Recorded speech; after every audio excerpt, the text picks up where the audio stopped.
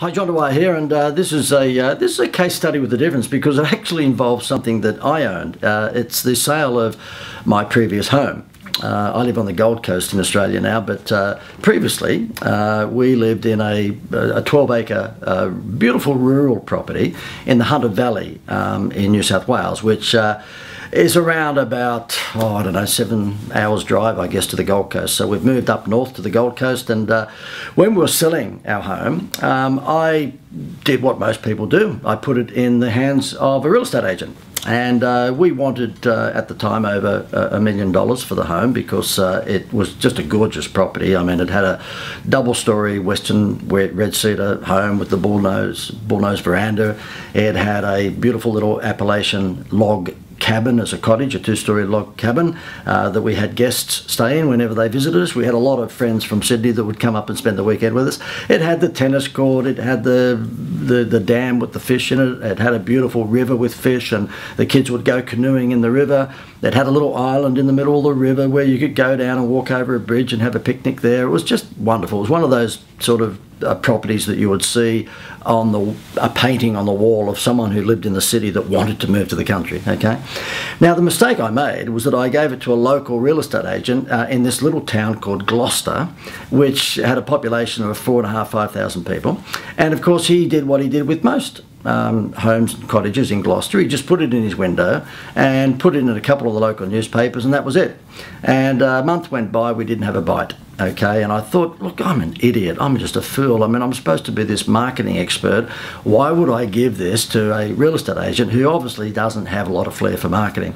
Uh, and I say that uh, you know, I, I think with a, a, good amount of evidence because, um, you know, the property itself really needed to have photographs taken from the air. Now, back in those days, there was no such thing as drones, but the, it really needed a helicopter shot because we had a little four or five hole golf course on the property as well. So, I mean, not as in a proper golf course, but we created proper little greens, and you know the kids would go out with their friends and have a game of golf in this. I think it was a five-hole golf course. So it had all the bells and whistles, and I woke up to myself and thought, hang on, we're not going to get this sort of price tag from anyone in the local vicinity because most of them would be, you know, whoever's interested in acreage in the local vicinity would be a farmer, and this was far from being a farm. Okay, if the farm next door to us, which was four or five hundred acres, if any of their cattle ever broke through the fence, um, the farmer would ride his horse over and apologise because he knew that they might have pooed on my golf greens. so we were anything but farmers. We had moved from Sydney uh, previously and spent a dozen or so years in this property. Wonderful, wonderful property. Um, but we decided it was time to move. A few of the kids were getting older and, you know, they just wanted to be near the big smoke and picture theatres and, and, and, and restaurants and all sorts of things like that. So that's why we moved. So you know what I did? I thought, no, look, I'll take this off the real estate agent and just market it myself. And that's what I did. And you'll see when you read the story below.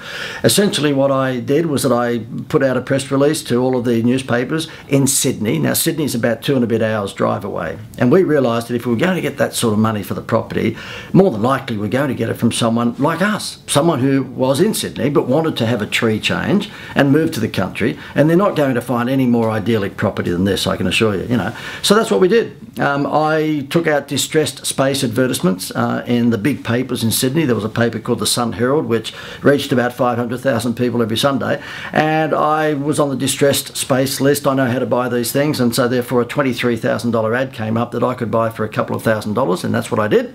And uh, then uh, we sent out a press release, and that same paper put a three quarter of a page press release release in the newspaper. Um, given that we had six kids, they went down the path of saying now it's time to say goodbye to all the family. So they took off the whole, you know, Mickey Mouse Club thing, and that hit the paper on the same day as the full page ad. You can see both of them as you scroll down and go through the case study. Guess what? Guess what?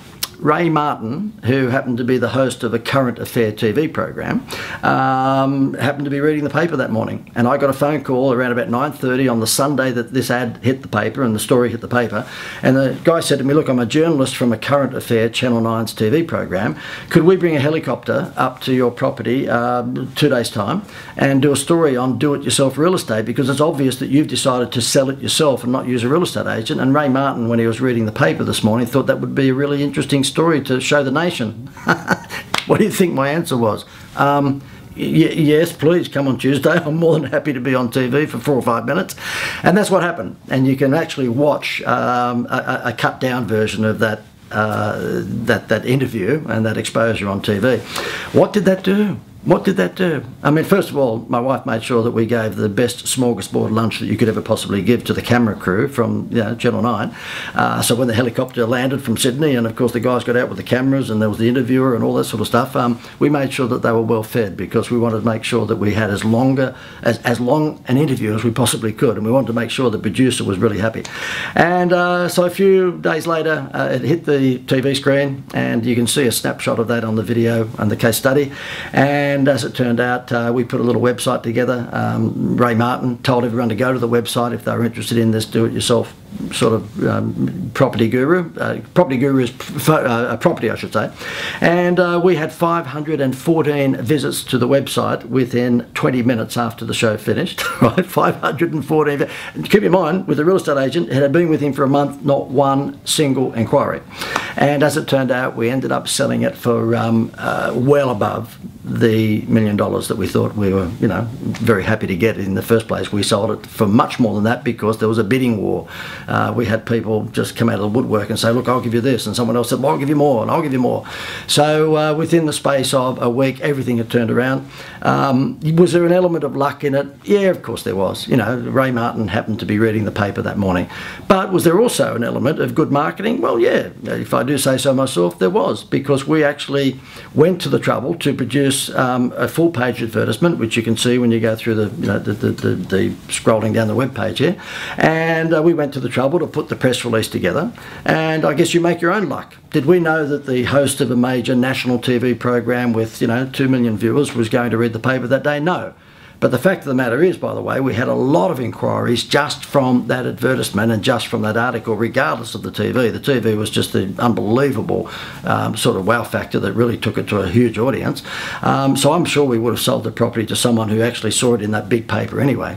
Um, and I just thought I'd showcase this because it's quite an extraordinary case study. There's no question about that. And I know that I'm giving myself a bit of a rap there, but it is one of those very, very um, unusual stories. You don't see people selling their own homes too often. They they normally go through a real estate agent. And I think it shows you, once again, um, the power of my wow factor mentality.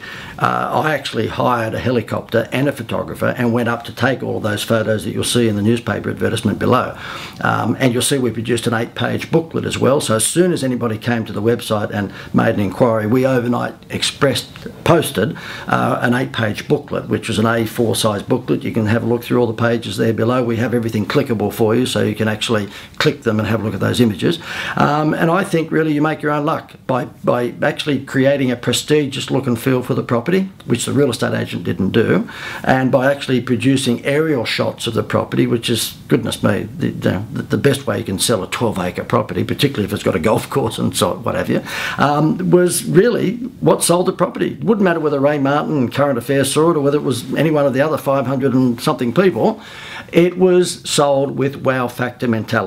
And my view is that, you know, in the real estate game, most of the real estate agents who I've ever come across have never ever shown, um, you know, I guess, flair in terms of how they would sell the property. Um, and you'll see in this instance, I was on TV being interviewed, and I'm telling everyone, look, that was a wonderful tennis court. The kids go out and play tennis on it, and um, you know, basically, it's a wonderful little cottage garden that we have for the smaller kids, and it's a terrific swimming pool, and it's lovely to be able to fish in the creek. I did all that sort of stuff, some of which they used on TV, some of which they didn't, but we created a story and not enough people when they're selling their properties I believe create a story and we made sure that it was something that would be ideal for um, people who had children because obviously you know we had enjoyed it with our children as well anyway just uh, thought you'd get uh, a bit of a kick out of the background of that it was a really um, I think you know outstanding in the sense that you don't see it very often. It was an outstanding uh, example of, uh, of wow factor in real estate marketing. Hope you enjoyed.